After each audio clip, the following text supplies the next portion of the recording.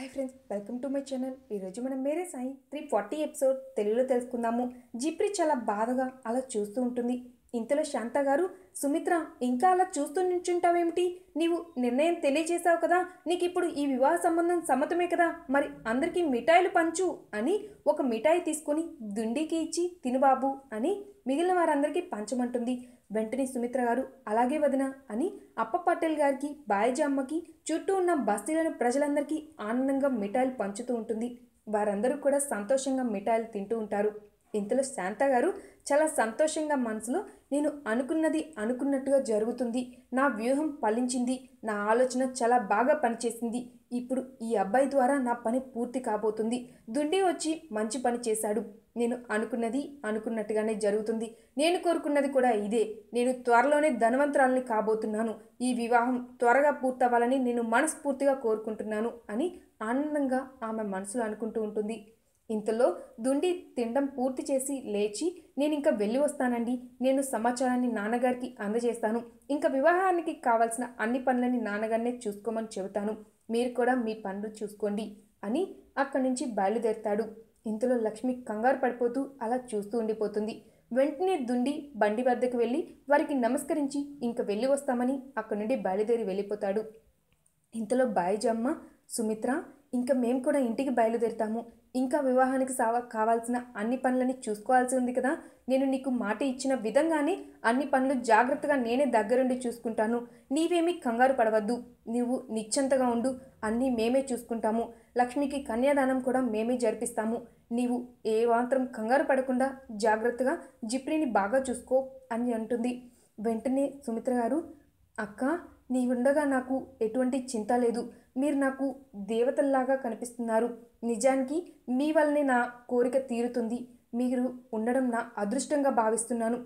చాలా ధన్యవాదాలు అని ఆనందంగా వారితో మాట్లాడుతూ ఉంటుంది.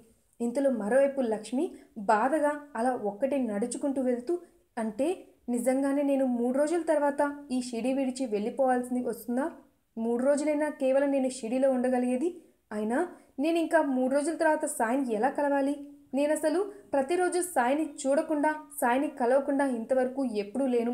అటువంటిది నేను ఇప్పుడు సాయిని చూడకుండా ఎలా ఉండగలగాలి? నేను ప్రతిరోజు సాయి వద్దకు వెళ్ళి ఆ ద్వారకామాయిని శుభ్రం చేసి సాయి ఆశీర్వాదాలు తీసుకున్న తర్వాతనే నా రోజుని మొదలు పెడతాను. అలాంటిది ఈ రోజు నుండి నాకు చాలా చింతగా అనిపిస్తుంది. ఇలా ఇంత త్వరగా జరిగిపోతుందని నేను ఊహించనే లేదు. సాయి ఆశీర్వాదాలు తీసుకోకుండా సాయిని చూడకుండా నేను ఉండగలుగుతానా అని అలా ఆలోచిస్తూ బాధగా నడుచుకుంటూ వెళ్తూ ఉండగా ఇంతలో ఆమెకి ఒక్కసారిగా ఒక ప్రదేశం దగ్గరికి వెళ్ళేసరికి చిన్ననాటి జ్ఞాపకాలు అలా ప కనిపిస్తూ ఉన్నట్టుగా అనిపిస్తాయి. ఇంతలో చెంప జిప్రి ఎక్కడికి వెళ్తున్నావు? ఇలా రా మనం బొమ్మల పెళ్ళిళ్ళ ఆట ఆడుకున్నాము అని పిలిచినట్టుగా చిన్ననాటి సంఘటనలు గుర్తు వస్తాయి. వెంటనే జిప్రి లేదు లేదు నాకు కొంచెం పని ఉంది అన్నట్టుగా వెంటనే చెంప ఏం జిప్రి నీవు తర్వాత ఆడుకుందాం అనుకున్నా మేము ఎక్కడ దొరుకుతాము? నీవు ఇలా రా మన అందరం కలిసి బొమ్మల పెళ్ళిళ్ళ ఆటలో ఆడుకుందాము. నీవు నా బొమ్మకి అత్తయ్యలాగా ఉండాలి రా జిప్రి అని పిలుస్తుంది. వెంటనే జిప్రి ఇప్పుడు కాదు నాకు పని ఉంది. నేను ఇప్పుడు గ్రామంలోనికి వెళ్ళి పిడకలమ్మాలి తర్వాత పాఠశాలకు వెళ్ళాలి. నేను ఇవన్నీ పూర్తి చేసిన తర్వాతనే ఇంకా సమయం ఉంటే అప్పుడు నేను ఆడుకోవడానికి వస్తాను. మీరు నా కోసం వేచి చూడకుండా మీరు ఆడుకోండి అని అంటుంది. వెంటనే అక్కడ ఉన్న పిల్లలంతా అయినా జిప్రి ఏమిటి? ఇలా ఆటలాడుకోవడానికి రమ్మంటే ఇన్ని పనుల గురించి చెబుతుంది అని వారు మాట్లాడుకుంటూ ఉంటారు. ఇంతలో అక్కడికి సాయి చేరుకొని ప్రతి ఒక్కరికి కొన్ని నియమాలు అలాగే పనులు ఉంటాయి. వారు వాటిని పూర్తి చేసిన తర్వాతే ఆటలు ఆడుకోవడానికి సమయం కేటాయించాలనుకుంటారు. అటువంటి స్వభావం ఉన్న అమ్మాయే ఈ జిప్రి అని వెంటనే వారితో మీ అందరూ జాగ్రత్తగా ఆడుకోండి. అలాగే లక్ష్మి కూడా ఆమెకి సమయం ఉన్నప్పుడు మీతో పాటు వచ్చి ఆడుకుంటుంది. ఇప్పుడైతే ఆమెకి కొంచెం పనులున్నాయి కదా. ఆమెకి ఆమె చేసుకోవాల్సిన పనులు పూర్తయిన తర్వాత మీతో పాటు వచ్చి కలిసి ఆడుకుంటుంది అని సాయి మాట్లాడిన సంఘటన ఆమెకి గుర్తు వస్తుంది. వెంటనే అలా చూస్తూ దగ్గరికి వెళ్ళి ఇటువంటి రోజులన్నీ అన్నీ పూర్తయిపోయాయి. మళ్ళా ఇటువంటి రోజులు ఎప్పుడు వస్తాయో? సాయి నాకు ఇప్పుడు ఏం చేయాలో తెలియడం లేదు. దయచేసి మీరు నాకు సహాయం అందించండి సాయి. దయచేసి నాకు సాయం చేయండి సాయి. నాకు ఏ విధమైన మార్గం నిర్దేశించారో కూడా అర్థం కావడం లేదు. ఇప్పుడు నాకు మీ సహాయం చాలా అవసరం సాయి. నాకు దయచేసి సహాయం చేయండి సాయి అని అలా ప్రార్థిస్తూ ఉండిపోతుంది. మరోవైపు సాయి గ్రామంలోనికి అలా నడుచుకుంటూ వెళ్తూ ఉండగా ఇంతలో బండి నడిపే వ్యక్తి ఎద్దులని వెళ్ళు అని బాగా కొడుతూ ఉంటాడు చండ్రకోల్తో ఇంతలో సాయి గమనించి అలా చూస్తూ ఉంటారు. వెంటనే దుండి ఆ వ్యక్తికి చెప్పాలి అని ఉన్నా కూడా అతను చెప్పలేక మౌనంగా అలా చూస్తూ ఉంటాడు బాధగా. వెంటనే బండి నడిపే వ్యక్తి ఏమిటి నువ్వు ఈరోజు ఇలా మొరాయిస్తున్నావు? నేను ఇంటికి త్వరగా వెళ్ళాలి అనుకుంటే నీవు ఇలా మొరాయిస్తుండడం కారణం ఏమిటి? అని బాగా ఎద్దుల్ని కొడుతూ ఉండిపోతాడు. వెంటనే సాయి గమనించి ఆగండి అని దగ్గరికి వెళ్ళి మీరు ఎందుకు ఇలా ఎద్దుల్ని బాధ కలిగిస్తున్నారు? మీరు ఇలా కొట్టడంలో న్యాయం ఉంది అనుకుంటున్నారా? ఆ ఎద్దులకు కూడా బాధ కలుగుతుందనే విషయం మర్చిపోయారా? మీరు ఎప్పుడు కావాలంటే అప్పుడు రాత్రి పగలు అని తేడా లేకుండా మీరు వెళ్ళాలనుకున్న ప్రదేశానికి ఇవి మిమ్మల్ని చేర్చుతున్నాయి. మీరు ఆ విషయం కూడా కనీసం ఆలోచించకుండా ఎద్దుల్ని ఇలా బాధ కలిగించడం న్యాయమేనా అని అడుగుతారు. వెంటనే ఆ వ్యక్తి అలా చూస్తూ ఉండగా ఇంతలో సాయి అయినా మీరు ఎందుకు ఇంత బాధ కలిగిస్తున్నారు? దీనికి కారణం ఏమిటి? అని అడుగుతారు. వెంటనే బండి నడిపే వ్యక్తి నిజానికి నేను ఇంటికి చాలా త్వరగా వెళ్ళాలి. ఎందుకంటే మా అమ్మగారికి ఆరోగ్యం బాగోలేదు.